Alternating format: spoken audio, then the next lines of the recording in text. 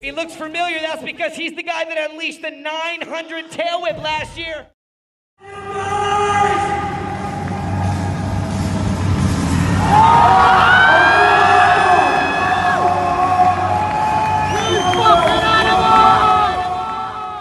Jack Maguire!